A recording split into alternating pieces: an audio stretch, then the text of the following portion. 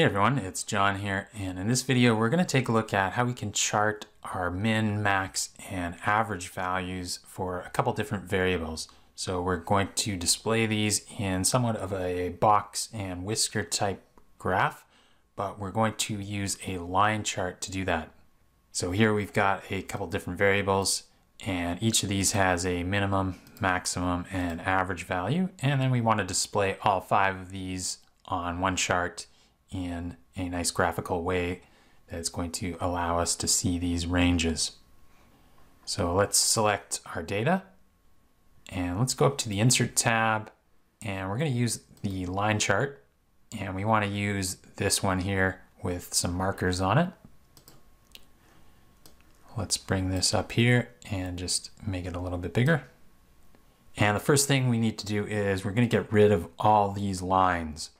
So if I select the first one and right click and let's format that data series.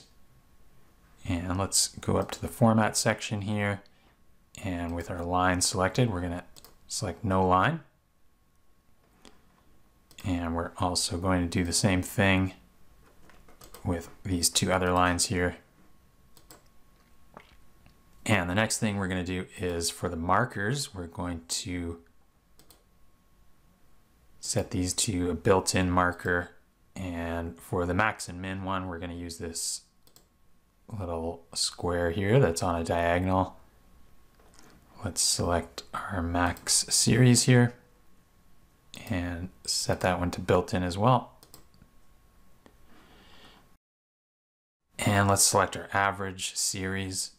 And for that marker, we're going to use a built-in square and we're going to bump that up in size a little bit as well. So maybe eight for that.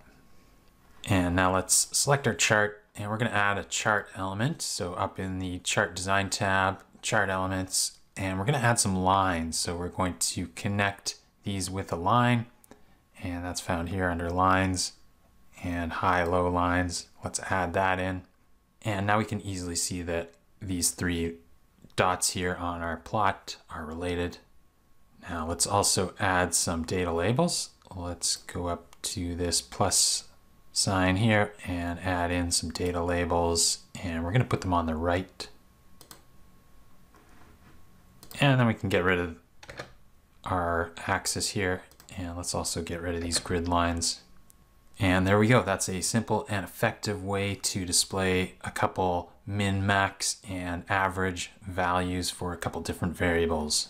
If you enjoyed this video, make sure you hit the thumbs up button and subscribe to the channel for future Excel videos like this one. That's it for this video. We'll see you in the next one.